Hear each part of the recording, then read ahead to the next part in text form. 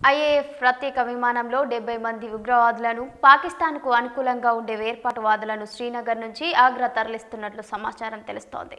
Indian air ఫోర్స్కు చెందిన ప్రత్యేక విమానంలో ఉగ్రవాదులు వేర్పాటువాదులను తరలించారని తెలుస్తోంది. ఈ విషయమై సంబంధిత వర్గాల నుంచి స్పష్టత రావాల్సి ఉంది. కాశ్మీర్ లోయలో ఉగ్రవాదులు దాడికి తెగబడే అవకాశం ఉండడంతో ముందు జాగ్రత్త చర్యగాని ఆర్మీ ఈ చర్య తీసుకుని ఉండొచ్చని భావిస్తున్నారు.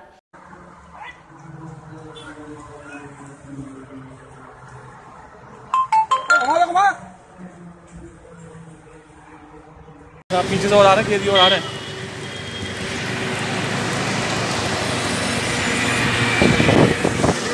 मिल गए ID ID ID ID. ID रुक